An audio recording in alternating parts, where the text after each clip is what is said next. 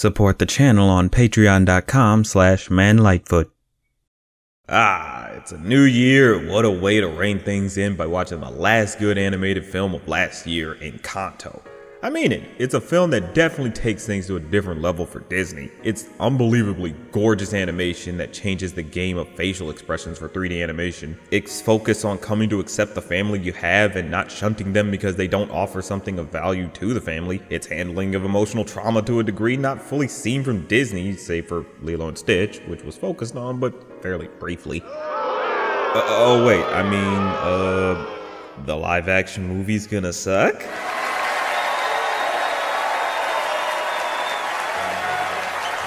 Alrighty then, you also can't ignore the fantastic music, be it the amazing score or the great musical numbers that express everything the characters are going through, and not to mention, they're just catchy as hell. Welcome to the family, Madrigal. The home of the family, oh. Madrigal. We don't talk about Bruno, no, no, no. and it's all held together perfectly with the main character Mirabel. Just a ball of sunshine who obviously isn't perfect, but basically is the glue that holds things together for the family. That unique piece of the family who herself is not unique in their traditional sense. She becomes a standout with her fun and likable personality. She's just a fun, pure beanbag that you just obviously want to protect. Like she's just so nice, you just can't hate her. Honestly, all the characters are stand out with their eccentric traits. They're all just great, fun, likable characters who you just really want to hang out with if ever that was a possibility. So, why do people believe the family is abusive? I mean, they're definitely worth discussing in terms of their treatment of Mirabel, but to say abusive, well, maybe we should take a look into this.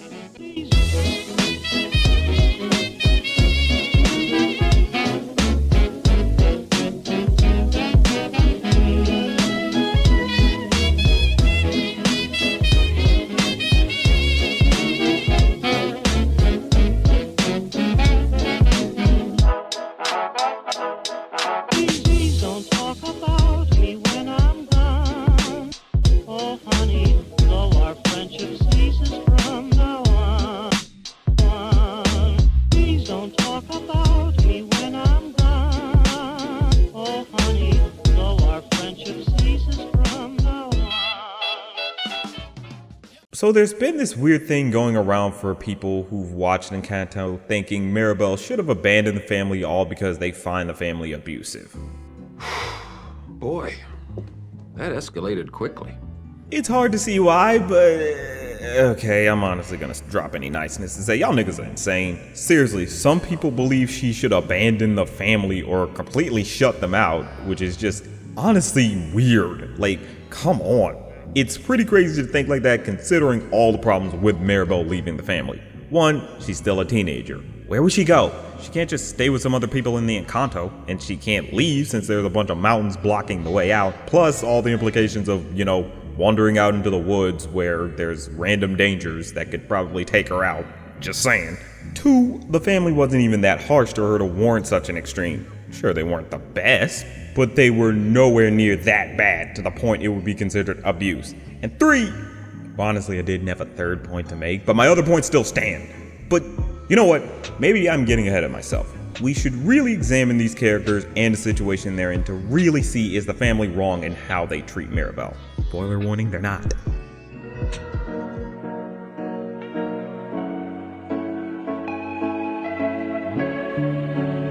Let's start off with a look at Mirabel. From the movie, we know she's a fun, energetic, and very caring person. This aspect shines through from a great performance by Stephanie Beatriz, who has impeccable range. I'm serious. The woman who gave us this gem, I've only had Arlo for a day and a half, but if anything happened to him, I would kill everyone in this room and then myself. Very violent eulogy. I like it. also did this. Welcome to family, Madrigal. The home of the family, Madrigal. Oh, nice pipes. Yeah, she just oozes range. Look, I just appreciate great actresses when I see them, so eat me. Get away! Back on topic. Mirabel isn't perfect by all means. She can be a little impulsive in trying to do the right things. And things don't work out too well for her since she isn't given a magical gift like the rest of her family. This creates a bit of tension between her and her family, particularly between her and her abuela. She's kinda seen as a black sheep of the family since she can't really help out much with maintaining the house or pushing the family name. The great admirable thing about her is her tenacity to push on and help her family and not let it hold her down, especially when the magic starts to fade away. She puts her all into making sure things don't go wrong for her family. There's a working theory that she's basically supposed to be the new bridge that holds the family together, taking Abuela's place. It makes sense considering how she keeps tabs on everyone and their powers and even their well being. Like, for example, when Mirabel's talking to Luisa about the magic and hears how stressed out she is, Mirabel puts aside her mission just to comfort her older sister. Aw, Shows she's about putting others before herself. The same thing happens when she makes amends with her sister Isabela. Now, at first it was just sort of a means to an end type of deal, but Mirabel helps Isabela get through her struggles of having to be perfect all the time. Granted, it's by having an argument with her that inadvertently forces Isabela to create something imperfect. I mean, you can't argue with the results, but still. It further emphasizes that Mirabel is the emotional anchor the family needs, especially with Abuela worrying too much about the family sticking to traditions just to hold up appearances, rather than making sure her family is okay. It makes sense that Mirabel could take over for Abuela because she's basically picking up the slack. But that does bring us to the main crux of things with how the family treats Mirabel.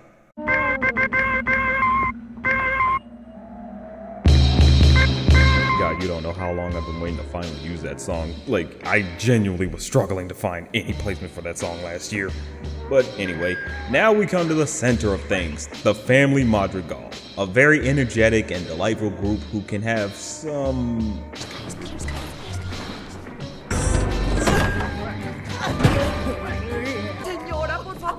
please, there's gotta be an explanation. I hate you. Ah, I'm a loser. What did you do? shall we say, shortcomings. They're a different type of family that we've seen in animation. They try to be supportive of each other, but clearly don't want to break tradition and disappoint the head of the house. That being Abuela Alma. Alma is the one that magic revealed itself to when she and her husband were fleeing from their hometown being destroyed by raiders. Her husband sacrificed himself to help protect her and their newborn kids, causing the magic to help in creating the Encanto. I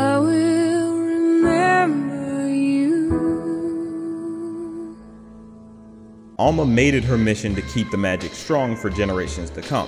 Now, a big thing about this is that this past trauma caused major tension in the family once Mirabel was born and later didn't receive a gift. It made Alma fear that her family was in trouble and tried too hard to protect her family at the cost of neglecting Mirabel and even her own son Bruno, who was one of her kids she was even trying to save. Like, Jesus. Now, for some, they found Alma to be too harsh in her treatment of Mirabel and Bruno, but I'm gonna say something a little controversial here. I can see why Alma was neglectful. But that doesn't mean I agree with her. Just making that clear. You know what? Let me explain. Alma was clearly grieving with the loss of her husband, so receiving something she perceived as a miracle probably made her eternally grateful to whatever brought the magic on. But the downside was possibly in her grieving state, she thought the magic would be taken away if ever something in the family came along and made it seem like they were ungrateful. So she kept up traditions that she felt would keep the miracle happy, but it was at the cost of the next generation's happiness. Basically, Alma didn't handle her grief properly, so it blinded her to what was truly important, and that was just being happy and living a full life with her family as they truly are, not honor bound by some imaginary obligation. But we do need to address the elephant in the room Alma's treatment of her family, especially Mirabel and Bruno. Since so many people think how Alma acted was apparently unforgivable, but it really, really wasn't that bad. The family was clearly under a bit of stress with trying to keep up appearances. I hate you. I'm a loser. Okay, okay, a lot of stress. Damn, you pedantic people. But the stress they were feeling wasn't anything too substantial. It was more a case that if they all got together and talked to Alma and voiced their concerns, things probably would have turned out better for them. The magic they had seemed to support them just enjoying life how they wanted rather than keeping to traditions and appearances. Hell, you could see it in how it was pushing Mirabel to make amends with Isabela. Now with Mirabel and Bruno, it's a bit tricky with them since they kind of got outcasted. But there's kind of a bit of nuances to this that some people have kind of ignored, honestly. With Mirabel, it was more just a bit of neglect on her abuela's part, which Alma did recognize by the end she was wrong for. But I won't fake the leaving her out of the group pick in the beginning was a bit harsh. But it's not irredeemable. With Bruno, he quote unquote left on his own just to focus on fixing the house. He wasn't really told to leave. Sure, people were upset with him on his predictions, but they probably weren't going to tell him you need to disappear or anything like that. Now, what type of person would that make anyone? Nah, nah. But I'm sure if Bruno discussed it with his family, especially his mom, things would have turned out differently. So, actually having a dialogue would have probably worked out for them.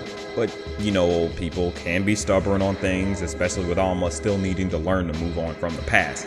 Now, that's the real meat and potatoes of things. Alma needed to get through her own internal struggles.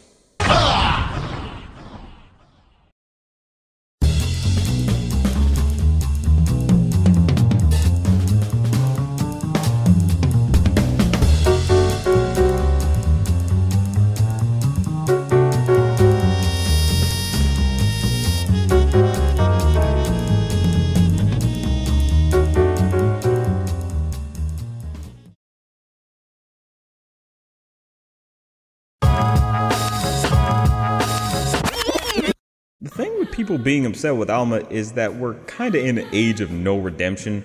Basically, too many people, particularly young folks, don't believe in the idea of the second chance, and honestly, it's pretty unfair. Now, far be it from me to say who's worthy of redemption and who's not. It depends on your own experience with someone. But with this movie, I think we can be a little kind to Alma on this. The point for her was learning to get out of the past and let her family live happily rather than to some fake sense of duty. But for some, they think she needs to be casted aside for her transgressions, like she caused physical harm, or caused the nuclear war, or brought a plague onto people's houses, or some shit.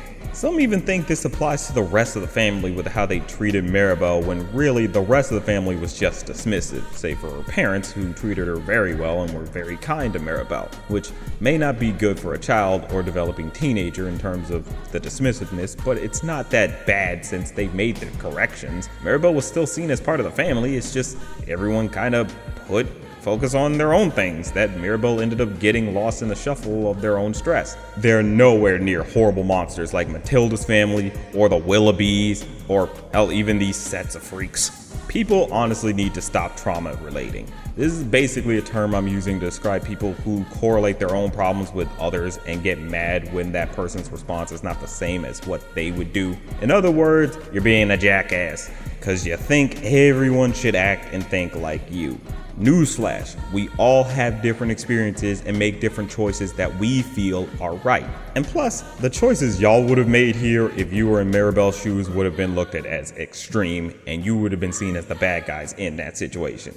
It's never right to judge something or someone on how you would have handled the situation. Some people's upbringings are rough, but it makes no sense to think all upbringings are the same. For some of you, shutting out people is most likely your best option.